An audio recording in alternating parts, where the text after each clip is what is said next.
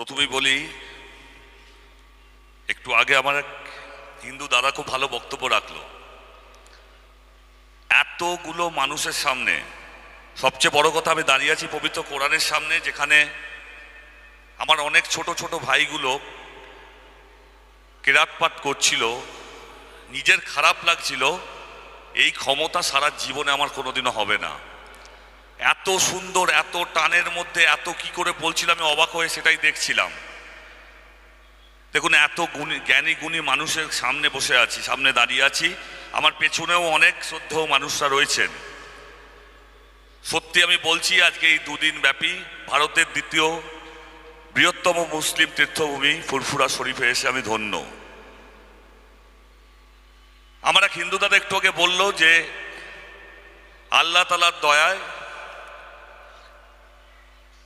এত মানুষের সমাগম আল্লাহ তালা যেন সবার ভালো করে।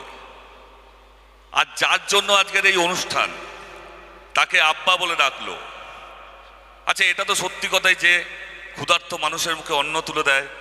মানুষের বিপদে সবার পাশে দাঁড়ায়। কে হিন্দু, কে মুসলিম সেটা দেখে না। কারুর কাছে সে বাবা, কারুর কাছে সে আব্বা। আজকে আমি ডানকুনি থেকে এসছি। আমি একটি হিন্দু ছেলে। কিন্তু এটা বলতে বাধা নেই। বাড়িতে হয়তো আমি বাবা বলে ডাকি আমার বাবাকে। আজ যদি আরেকজনকে আব্বা বলে সম্মান করি, যার ডাকে আজ এসছি, যার জন্য এত বড় অনুষ্ঠান, যার ডাকে এই বিরাট কেরাত প্রতিযোগিতা, আমার অত্যন্ত শ্রদ্ধার হুজুর তোয়া হুজুর সাহেব। দেখুন, আপনাদের কাছে তিনি অনেক সম্মানের, আপনারা তাকে হুজুর বলে ডাকেন।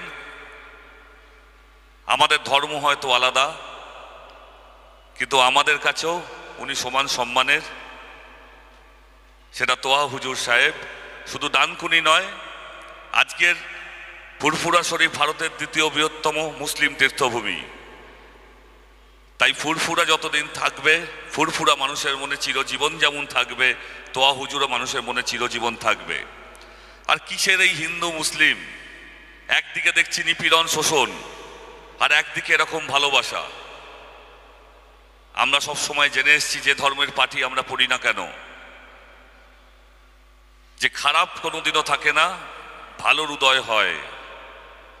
তাই আমি কথা বলতে পারি, একদিকে শোষণ নিপীড়ন আছে, কিন্তু একদিকে এরকম মানুষও আছে, যিনি সমাজে নিপীড়িত দুস্থ মানুষদের পাশে আছেন, তাদের মুখে অন্ন তুলে দিচ্ছেন।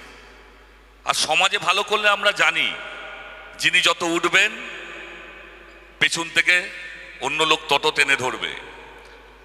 এখানে একটা কেরাত প্রতিযোগিতা চলছে, বেশি কিছু বলব না, শুধু একটা কথা বলি। আমি অত্যন্ত নগণ্য, ক্ষুদ্র মানুষ, এত মানুষের সামনে তাও একটা কথা বলে যাই।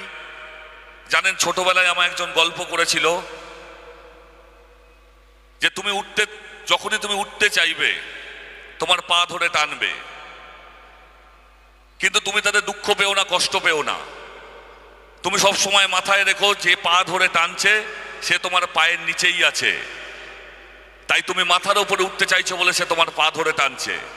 তাই তাকে নিয়ে চিন্তা করো না, ওপর দিকে উঠে যাও। আমি সবাইকে প্রণাম, সালাম জানাচ্ছি। এখানে আগত এত মানুষকে আমার সালাম জানাচ্ছি। আর আল্লাহ তালার উদ্দেশ্যে বলি, সবাইকে উনি যেন ভালো রাখেন।